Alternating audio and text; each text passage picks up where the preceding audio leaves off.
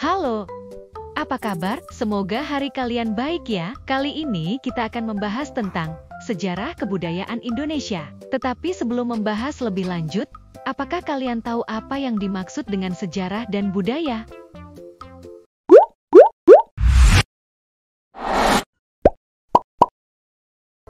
Sejarah adalah susunan dari peristiwa-peristiwa yang terjadi di masa lalu. Segala hal yang telah kalian lakukan di masa lalu bisa dikatakan sebagai sejarah lo teman-teman.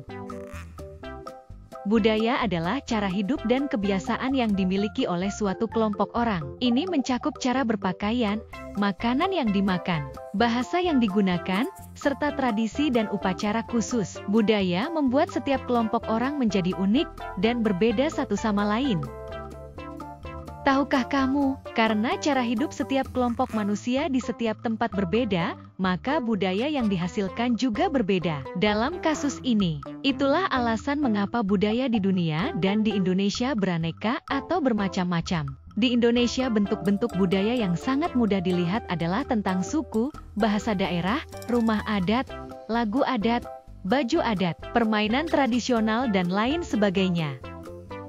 Nah, sekarang kalian sudah tahu apa artinya sejarah dan budaya. Sekarang kita akan belajar sejarah dan budaya di Indonesia satu persatu. Pelajaran dimulai dengan sejarah Indonesia. Agar lebih mudah memahami sejarah di Indonesia, zaman dibagi menjadi zaman prasejarah, zaman kerajaan, Hindu, Buddha dan Islam, zaman penjajahan, dan zaman kemerdekaan. Zaman prasejarah. Apakah kalian tahu tentang zaman prasejarah teman-teman? Zaman prasejarah disebut dengan zaman purba atau zaman kuno. Kalian tahu kenapa zaman dikatakan sebagai zaman prasejarah? Hal itu karena pada saat itu orang-orang belum mengenal tulisan. Apakah kalian tahu teman-teman, di Indonesia zaman prasejarah berakhir pada 400 Masehi loh? Zaman kerajaan. Tahukah kalian pada zaman dahulu sebelum negara Indonesia terbentuk, terdapat bermacam-macam kerajaan yang berdiri? Kerajaan-kerajaan di Indonesia memiliki corak yang berbeda-beda. Corak tersebut sangat erat kaitannya dengan agama apa yang dianut oleh kerajaan-kerajaan tersebut. Fakta menarik tentang kerajaan di Indonesia 1. Kerajaan tertua di Indonesia adalah Kerajaan Kutai. Kerajaan ini menganut keyakinan agama Hindu. 2. Kerajaan Buddha tertua di Indonesia adalah Kerajaan Sriwijaya. 3. Kerajaan Islam tertua di Indonesia adalah Kerajaan Samudra Pasai. 4. Jika ditotal, ada sekitar 112 kerajaan yang pernah berdiri di Indonesia.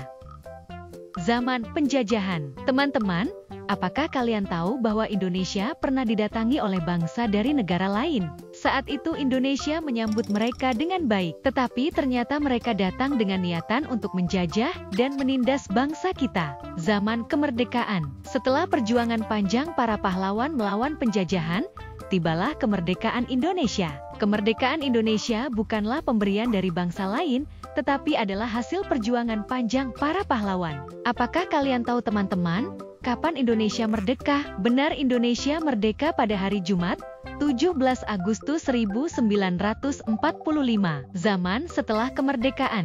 Meskipun Indonesia sudah merdeka, Indonesia memiliki ancaman dan tantangan untuk mempertahankan kemerdekaan tersebut loh teman-teman.